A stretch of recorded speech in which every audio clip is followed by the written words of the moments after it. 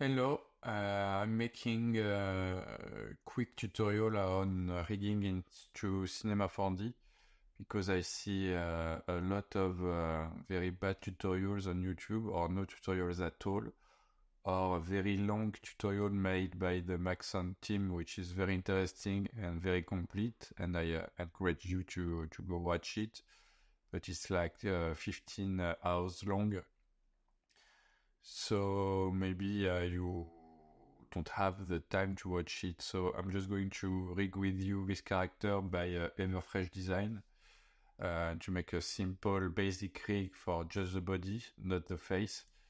And uh, I'm going to do it real time, so there is not going to be any editing in this video, but uh, this way uh, I can uh, share knowledge with you. Okay, so what is a rig? So firstly, a rig uh, is uh, made of three different parts. So first you have uh, the, geometry, which is uh, our character here. Secondly, you have the joints, which are these parts inside the character that we see uh, in transparency. And to finish, we have the controllers. So what happens is that the controllers are making the joints move and the joints are making the geometry move. So if I come and grab like the feet here, it's going to move up and we can see in transparency the joints are following the controller that is following the geometry. Um, you have to know that uh, while rigging, there are two types of uh, way to uh, to rig uh, members. So you have the IK way, which is this way, meaning that you grab the end of the limb and then everything is following. Same thing for the arm here, but you can also switch. Where is the switch? To uh, FK, which is a forward kinematics. And in this type of uh, rig, you animate from the bottom, from the up to bottom. So from the shoulder here, then the elbow, then the hand. Uh, usually you want to rig your legs IK. This way you can just grab the character and everything is going to follow and the arms are usually rigged FK on simple rigs so that you can have very easily while animating this arc movement for walk cycles, run cycles, and uh, all that kind of stuff. Okay, so I'm going to delete everything here. You can uh, take this character, it's a character from Maxon that you can download here. You type in tune, and you are going to find it somewhere down here. So it's rigged by default uh, with the very good Toon uh, character rig by uh, Everfresh Design. But I'm just going to to break it all, beam. And so now I just type the character without the eyes, so it's a bit weird, but fine. And I'm also going to erase these tags here that I don't want to have now. So this is gone, this is gone, and this is gone too. And no subdivision, okay, just the character. So the first piece, uh, the first thing we have to do is to, uh, to set up the joints, which is uh, the skeleton for the character. And to do that, we have to go to uh, the the character uh, menu and inside the character menu, which is not going to be displayed uh, in the video because uh, I'm not recording this much, but it's on top of C4D, so you have to go to the character menu and you can find in it the joint tool that you can see here. So you take it and you go to the um, side view, for instance, and we're going to, to begin to uh, put the joints for the leg. So the first joint is going to go here for uh, the up leg, then the knee, then the foot. So in order to uh, put a joint on PC, you have to press Control, click, uh, and it puts a joint. You see that in my hierarchy here, I now have a joint. So I'm going to go down below, push again and again. So now I have three joints, you see, root, joint 1, joint 1, and joint 2. And uh, this is my leg, but I also want to do uh, the foot. So I'm going to keep going. So control click here for the toes. And I'm going to end the leg here. This is my toes end. Going back to the 3D view, you can see that my joints are in the center of the world. It's because we use an orthographic view to um, to have more control on the position of the joints. So uh, they are put in the center of the universe in the 3D view. So now I can just go and grab my root and put it here into the center of my leg. So this is going to be my uh, left leg so uh, it's right for us, but in the character's point of view, it's left. So usually you name uh, your controls, uh, joints, etc. Uh, from the point of view of your character. So I'm going to rename all of that. It's going to be L underscore a plague.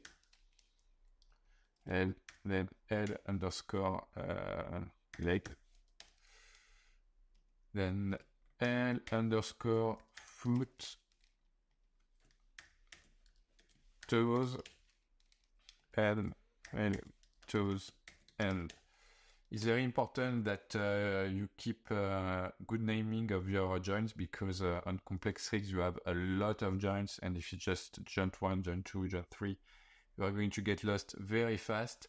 Plus when you have uh, right side and left side uh, we use the uh, naming convention left or right to mirror everything on the other side while rigging. So that you just have to rig one side and then you can copy it onto the other side and if you don't name it if you don't name it correctly a cinema 4d is not going to understand what you want to do. So name it. Uh, i'm going to do the spine now. So i'm going back to my side view. I'm going to grab again character joint tool.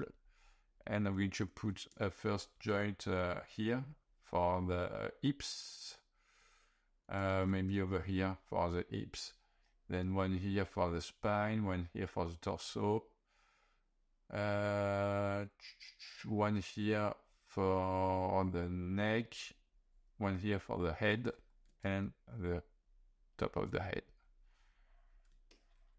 So you can just go to the 3D view and check uh, if it's looking good. I think we are good.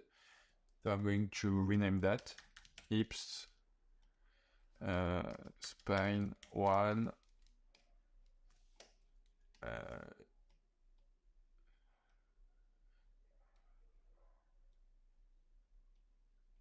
this is the torso so I don't have a spine we are going to make it simple then the neck, uh, the head, and head tip. Uh, oh, I'm going to rename that joints and I'm going to put the leg inside the hips here. So now I'm going to do the arm.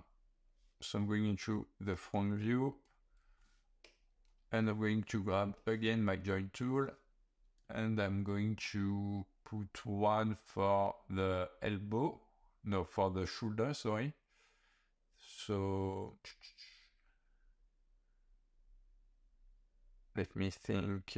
I'm going to put one here for the shoulder, one here for the arm, one here for the elbow, one here for the hand. Okay. So it's important to understand that the joints are stuff that you usually want to rotate like that. Uh, and usually you don't move it around like that uh, because it has to behave like uh, normal uh, articulations and uh, the articulations in your body uh, usually they rotate they don't just move around. So when you are building a ring, you just have to think where is my bone going to be in order for uh, my character to to behave normally. So this is what I am doing here.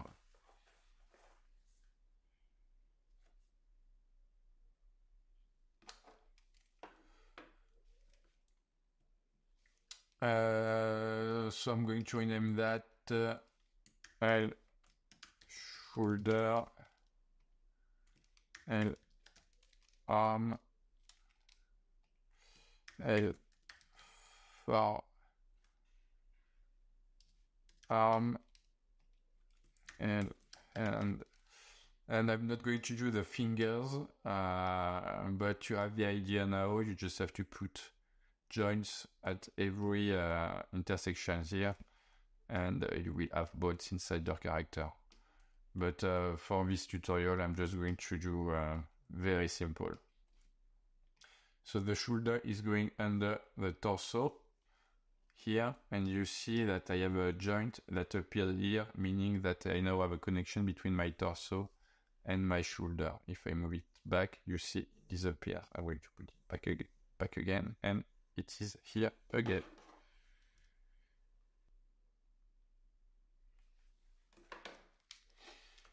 Um, so now I have my uh, joints for pretty much the whole body except for uh, the right side, but we are going to mirror it, so it's okay.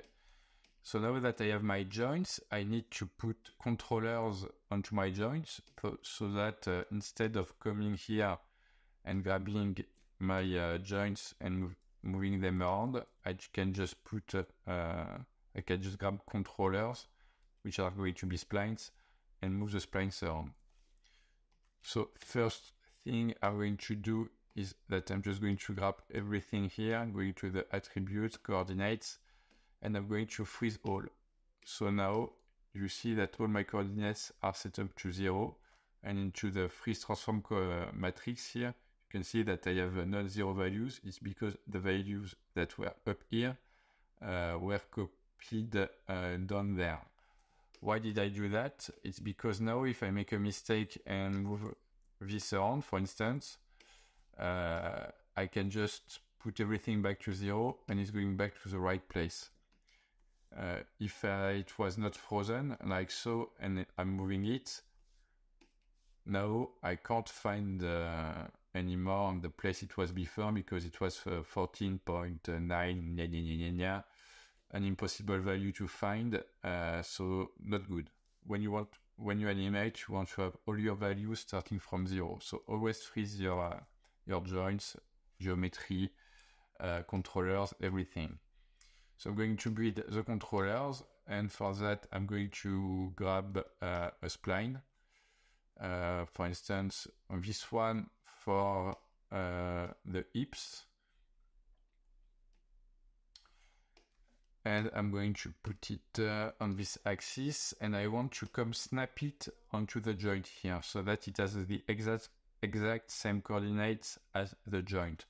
So I'm going to activate the snapping tool over there click onto the um, uh, the options of the snapping tool. By default, it is set to points, but I want to snap on axis. So I'm going to deactivate point and activate axis. So now I can just take my object and you see it's going to snap. Snapping. Going to scale it down. And now I'm going to take a spline circle and I'm going to do the same for the spine. I'm going to snap it here. So this is my spine controller. This is my torso controller. And now I need controllers for uh, the, the arm and the shoulder. So for the shoulder, I'm going to make a rectangle, for, for instance, and I'm going to put it like over here above the shoulder so that I can grab it easily later like so and I want uh, the axis to be at uh, the same coordinates as uh, the joint axis. So I'm going to break my spline, which is now a primitive. And I'm going to break them all by selecting them all and uh, pressing C on my keyboard. And now I can take uh, the axis tool and move the axis around without moving the geometry. And I can come snap the axis onto the shoulder. And now I'm going to make splines for the arm. So I'm going to take uh, this like so, putting it on the arm here, rotating it to match the rotation of the arm. And I'm doing the same for the rest of the arm. So I'm going to rename it all. So this is going to be my uh, hips. I'm going to duplicate it and name it pelvis, pelvis. And I'm going to scale it down and maybe rotate it like so. No, I'm not going to rotate it. I'm going to grab the points to rotate it so that I don't rotate my axis just in order to have a clear differentiation between the two. It's just visual, you don't have to do it. Then this is going to be my spine, uh, torso. This is going to be my left shoulder, left arm, left forearm, um, left hand. Underscore please. Okay so my arm is going to be fk forward kinematics. So i want that when i grab my shoulder it's moving my uh, elbow and my elbow is moving my hand so to do that i have to put the hierarchy uh, for it to work so what it means is that I have to put my left arm into my left shoulder. So now when I grab my left shoulder, you see it's moving my arm control and so on. So under the arm, I'm going to put the forearm and then the hand. Same, the hips are going to be FK. So inside the hips, I'm going to have the pelvis, the spine, and the torso. Like so. Uh, and the shoulder is going to move with uh, this part of the body. So I have to put my shoulder under my torso controller. Okay, so I have my hierarchy of controllers for the top of the body. I could make one for the neck too and one for the head. I'm going to go and do it. So creating a new spline. I'm going to snap it here onto the neck and it's going to be hard to grab so I'm just going to move it up uh, making it smaller like so breaking it with C going to the axis tool and snapping the axis onto the neck I'm going to do another spline here and do the same for the head so moving it up here making it smaller and I want that to rotate from here. So I'm going to snap the axis over here. So I'm breaking the spline, taking the axis tool and moving it down there. So it's snapped. Okay. I can activate my axis tool and my uh, snapping tool. So this is the neck and this is the head and it's still FK. So it's going another torso so that when I grab the torso, it moves the neck, and when I grab the neck here, it's going to move the head. Um, and now for the leg, we are going to like to rig the leg uh, in uh, F in IK mode, sorry, so that I want to grab my foot, and when I move my uh, foot around, it's going to make the all the joints hierarchy here move along. So I need a controller just for the foot and one for the toes, for the toes roll. So I'm going to make a new controller like a rectangle, for instance, and I'm going to put it here. So controllers are just splines, and then you have to make it look good for uh, for your rig. But uh, I'm just going to make it as simple as possible for this tutorial to be uh, quick. So okay, so this is my uh, my target for my IK leg. So I'm going to rename it. Um, it's not going to be my target. We are going to make it even more easy. Uh, it's going to be my controller. So I'm going to rename it L foot control and whack it. And I'm going to take my axis and put it here onto the onto the axis of the of the joint. So I'm going to axis mode, snap mode, and snap. It is snapped. And I need a last controller for the toe. And I make the mistake at some point. I think I deleted my toes hand here. I'm just going to come here and correct it. Uh, okay, what did I do? I don't know. So she's going here and there, like so. And I can back to freeze all. Okay. Uh, and one controller. So for the toes, I'm going to take a rectangle again. I'm going to come and snap it over here, resize it, and there I have my toes controller. Toes, head, toes, control. It's going under my L foot control. Um, okay, so now I want to uh, to rig my leg to be uh, IK. So I need to go to my uh, joints and on the first uh, member of my IK chain, I want to put an IK tag. So the tags in Cinema 4D are all this stuff here. This is a tag, this is a tag, this is a tag, this is a tag. And in Cinema 4D, usually everything works with tags. So onto my leg, I'm going to right click, uh, rigging tag, constraint.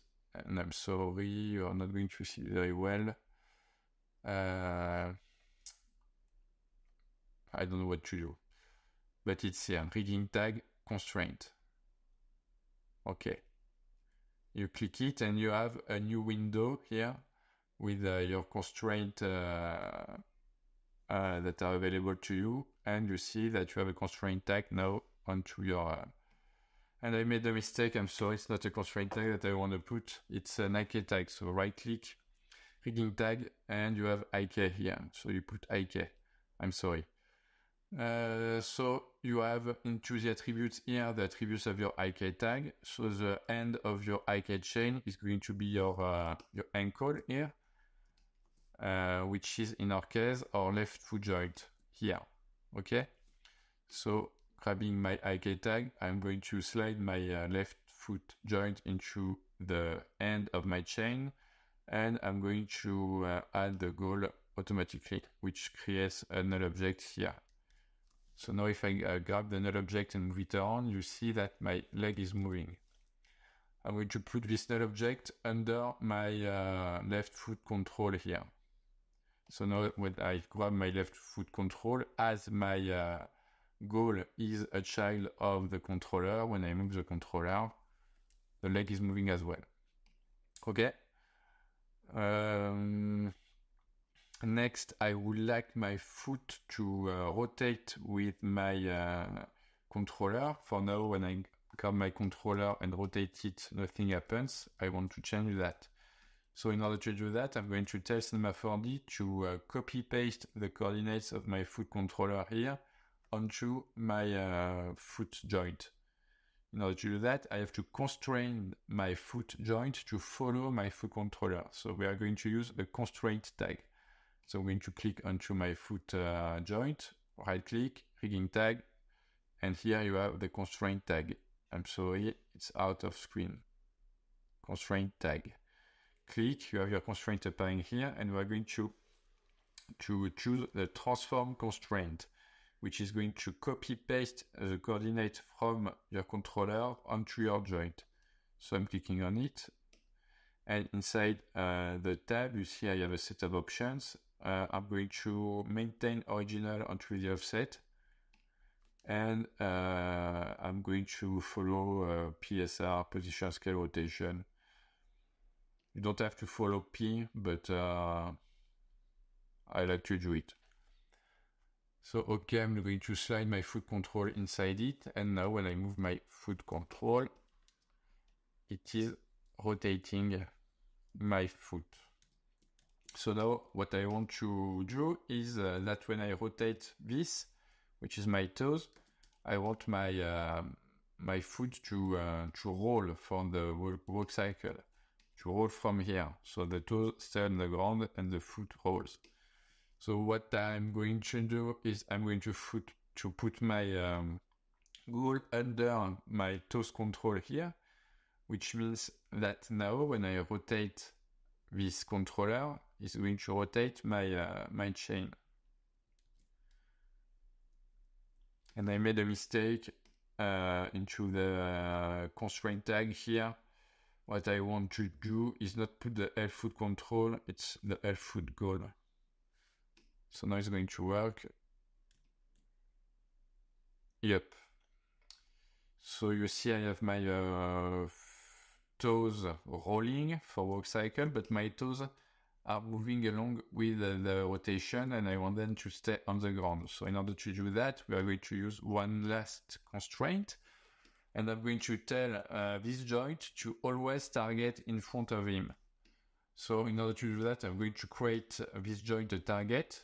So I'm going to create another object. It's going to be L toes target and I'm going to put it under the toes con no above the toes control because I don't want to rotate when I uh, rotate the toes control. I want it to be static. So it's go going to go under the left foot control. So I'm going to come and snap it over here and move it forward. And I'm going to freeze it uh, later. So now I go to my left tool, right click, rigging tag, constraint, and into my constraint, instead of using a transform constraint, I'm going to use a, an aim constraint to tell my joint to aim this point here. So aim, you see that my joint is gone, uh, it's gone backwards actually in this direction because you see it's uh, targeting the Z plus axis. But if I come and take my uh, target and put it over here. Now it is targeting my point here. And if I move my point, you see my null. You see that the toes are following, meaning that now if I take my left toes control and rotate it, it rotates it rotates uh, the skeleton and the leg it rotates the leg, but not the the toes. So the toes are staying on the ground.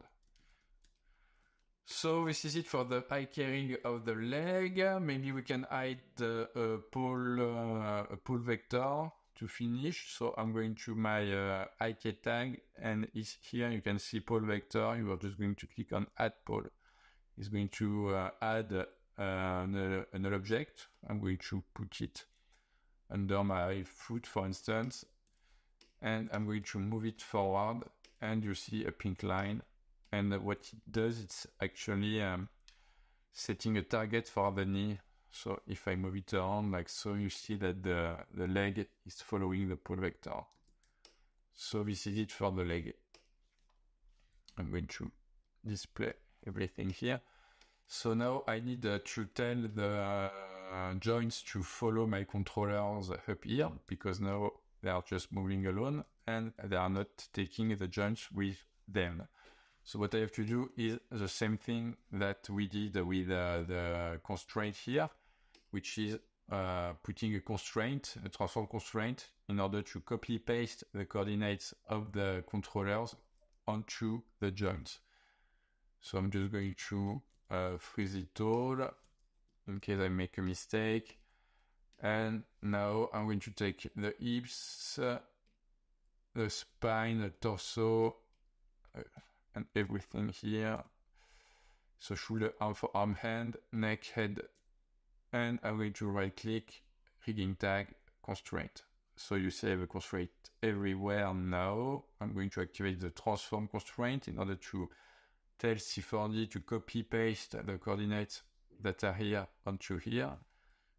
Okay, maintain original, and now I have to go one by one. So for the hips, I'm going to put uh, the pelvis, and then spine is going to be a spine, torso, torso, and so on. So shoulder, sheet, shoulder, arm, forearm, and neck. And head. So now when I come and grab my controller here, you see it's moving everything alongside it because I have constrained my uh, my uh, joints to follow my controllers. Okay, so now uh, we are almost uh, ready. So I have my uh, skeleton and my joints. My skeleton and my controller, sorry, and I'm going to grab everything on the left side and copy paste it onto the right side. So I'm going to select everything named L underscore something. So all the joints and all the controllers. Okay. And I'm going to character uh, mirror tool. I'm going to it up here. So what it does, it's going to uh, to take uh, your uh, your geometry, your constraints, etc., and copy paste it from the right to the left. So we are going to copy on uh, uh, the axis uh, YZ, so yes, it's a good one. Plus to minus, so this is plus, this is minus, is good. And we are going to rotate uh, our joints and uh, controllers. We are going to clone the tags and we are going to change the naming from L underscore from L underscore to L underscore and click mirror. So I'm just checking that it's working. It's look it looks like it is. Yes. Yes. And yes. Okay, so I have my full skeleton except for the hands and of course facial rig. But uh, you have the idea of it. And you can uh, keep doing it for the hands uh, if you want to. So I'm going to create a new null I'm going to name controls. I'm going to create a new uh, null that I'm going to name master. I'm going to take the inside, make it on the ground and make it like three side. And I'm going to rotate, take the points and rotate it so that it's facing forward. Like so. So master, and I'm going to put my controllers inside. So now when I move the master, uh, everything is following. It's under control. So now I have three parts. I have my geometry, I have my joints, and I have my controllers that are controlling, controlling my joints. But my joints are, are not controlling my geometry yet. We're going to uh, remedy to that, but first I'm going to take uh, my controls and my joints, right click, select children, coordinates, and now going to freeze it all so that it's all at zero.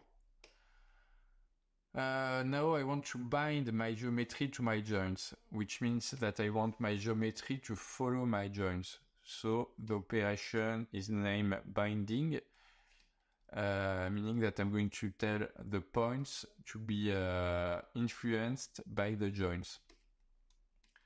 In order to do that, I can select uh, uh, my uh, geometry and we are going to see how the character is made. Hairband, hair, tongue. I don't care about the tongue. The teeth, the balls, I'm going to keep that. The head, which is that, okay. Hands. Uh, hoodie, zipper, I'm going to put it uh, below and this is okay I'm going to uh, actually for the zipper you will need to put another joint here in order to control that specifically but I'm just going to delete it for this tutorial okay so now I want to select my uh, my geometry so the legs, the did, the hands, uh, for the balls and the teeth. Uh, yes, I'm going to select it too and see what happens. And then I'm going to take my joints and select everything. I don't need to select the end because the end is actually this part here and doesn't control anything. So spine, torso, make sure you don't select the null object. The hand, the hand, the neck, and the head tip, same as uh, the end of the toes here. It's not interesting because it doesn't control anything, so I don't select it. Then I'm going to character bind, and we have options here. By default, it is set to heat map, and uh, we can just click OK and see what happens. So you can see in your uh, object manager that uh, uh, the operation put uh, a new tag onto your object. It's a weight tag, meaning that uh, now you have uh, influences that are uh, recorded uh, for this object, influences of these joints here recorded for this object hairband. and you have a skin tag which is a, a deformer telling Cinema 4D that now this subject is going to deform. So if I take my controller here and move it, you see that now it is moving my arm. And if I take this, it is moving like so. So if I take the hips, it moves. So it did a pretty good job, but uh, the geometry is very simple, so it's quite easy to uh, to do an automatic uh, weighting. I think if I take the shoulders, okay. The head, the head isn't good, you see. And the neck. Uh, so we are going to do a bit of correction here, uh, meaning that when I uh, lower my arm here, this should not go inside the body, it should stay uh, the same. So it should be influenced by, uh, I guess, more this bone here than this bone here. So we are going to do what is called weight painting. In order to do that, I'm going to go to, um, I've got uh, an interface set up here, but you don't have it. So you go to character and the first thing you see, you can't see it on my screen, I'm sorry, is manager. And inside manager, you are going to click on to the weight manager and it's going to put, uh, to make this window pop up. Okay. So it's character manager, weight manager. I'm just going to click on the interface I made. Shit. Sorry.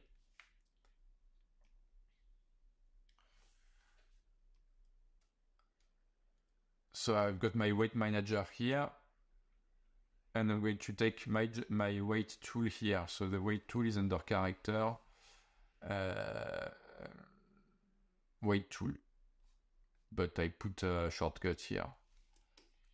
And I'm going to select my uh, hoodie geometry and you see it's it's colorful now. And if I go to my joints here, you can see that each color is matching a joint. And I would like my uh, my uh, arm here to not influence this part of the body. So what I'm going to do is that I'm going to take my uh, spine and uh, for the spine I'm going to paint influences all around the character here so that it's uh, fully influenced by the spine. So I'm going to take my weight, my weight uh, tool attribute here and I'm going to put uh, the mode into absolute, meaning I'm going to paint one a value of 100% for the bone that is selected here. So if I paint, I'm applying a 100% value uh, of uh, the bone spine onto this, uh, these points. So I'm going to go around the character like this and for the torso I'm going to paint here and there. So now that I put the 100% influence uh, of the torso onto these points, now when I grab my shoulder and move it, you see that it's not moving this point anymore. And so you should go around uh, your whole character in order to do that properly for every bone.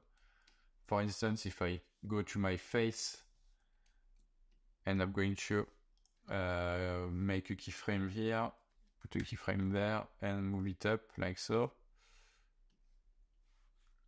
I want my face to influence my chin here, my face joint, so I'm going to go to my face geometry, which yeah. is which is uh, head here, and I'm going to take the head control, the head joint, sorry, so you see that it's not uh, influencing uh, this part of the body because it must be influenced by the neck, yes. So I'm going to the head. I'm taking my uh, my weight tool. I'm going to so to set it to absolute, and I'm just going to paint. Yes.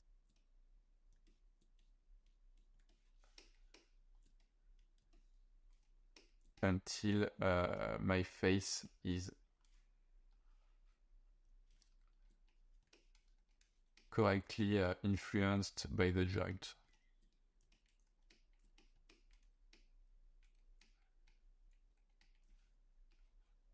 Looks, looks okay. And if you want to smooth the insides are not painted,